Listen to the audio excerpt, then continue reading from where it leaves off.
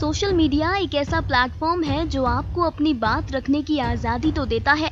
लेकिन साथ साथ एक ज़िम्मेदारी भी आप पर आती है कि आप जब बोलें तो सोच समझ कर बोलें, क्योंकि आपकी बात दुनिया भर में हर कोई सुन रहा है, हर कोई पढ़ रहा है। लेकिन शायद विवेक ओबरॉय ने सोशल मीडिया की सेंसिटिविटी को समझा नहीं है। विवेक ओबरॉय ने एक बेहद शर्मनाक हरकत कर दी है, जिसकी जितनी निंदा की जाए कम है। विवेक ओबरॉय ने एक कोलाज अपने सोशल नेटवर्किंग साइट पर अपलोड किया, जो ऐश्वर्या राय बच्चन की पर्सनल लाइफ से जुड़ा हुआ है। ये तो आप लोग जानते ही हैं कि विवेक ओबरॉय ने प्रधानमंत्री नरेंद्र मोदी की बायोपिक में काम किया है। और आप लोग ये भी जानते हैं कि चुनाव के बाद हो रहे एग्जिट पोल में कहा जा रहा है कि एक बार फिर से एनडीए सरकार बना सकती है। यानी कि इस बार फिर से नरेंद्र मोदी प्रधानमंत्री बन सकते हैं। चारों तरफ़ कुछ ऐसा ही एग्जिट पोल दिखाया जा रहा है। नरेंद्र मोदी की बायोपिक में काम करने के बाद विवेक ओबरॉय राजनीति में कुछ ज़्यादा ही दिलचस्पी भी लेने लगे हैं।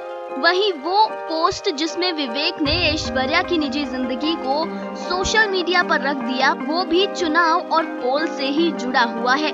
दरअसल, इस पोस्ट में एक कोलाज दिखाया गया है। जिसमें पहले ऐश्वर्या और सलमान की तस्वीर है। उस पर लिखा हुआ है, ओपिनियन पोल कोलाज में दूसरी तस्वीर विवेक और ऐश्वर्या की है, जिस पर लिखा हुआ है, एग्जिट पोल और फिर तीसरी तस्वीर अभिषेक, ऐश्वर्या और आराध्या की है, जिस पर लिखा हुआ है, रिज़ल्ट. विवेक ओबरॉय, हम यहाँ पर आपसे ये कहना चाहेंगे कि आपको कोई हक नहीं है किसी की भी निजी ज़िंदगी को उसके पूछे बिना इस तरीके से ट्विटर पर उछालने का।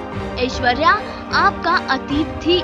इसका ये मतलब नहीं है कि आप ऐश्वर्या राय बच्चन की निजी ज़िंदगी का इस तरीके से मज़ाक उड़ाएँगे।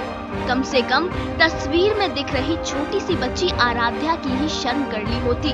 जाते जाते फिर कहेंगे कि विवेक की इस हरकत की जितनी निंदा की जाए कम है। Final cut news desk